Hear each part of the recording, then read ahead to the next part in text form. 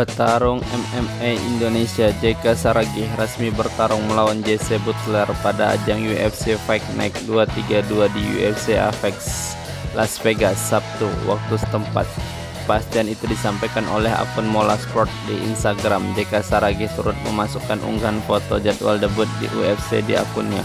Sudah dikonfirmasi JK Saragih akan menghadapi JC Butler di kelas featherweight untuk debut di UFC sebagian sebagai bagian dari UFC Fight Night pada tanggal 18 November di UFC Apex Las Vegas tulis di Mola Sport Instagram.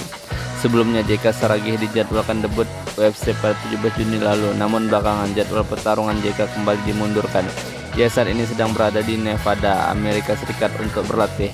Pertarung asal Simalungun, Sumatera Utara itu terus mempersiapkan pertarungan pertamanya. JK bakal tampil di kelas featherweight Hal tersebut sempat dikatakan sang manajer Graham Boylan setelah JK mendapatkan kontrak profesional bersama UFC. Petarung berjuluk si tendangan maut itu sebelumnya tampil di ajang pencarian bakat Road to UFC. JK, JK menang atas Pawan Maan Singh dan Ki Won Bin sebelum tampil di final. Kendati kalah di, di partai puncak dari Ansel Jubli, JK tetap mendapat kontrak bertarung di UFC.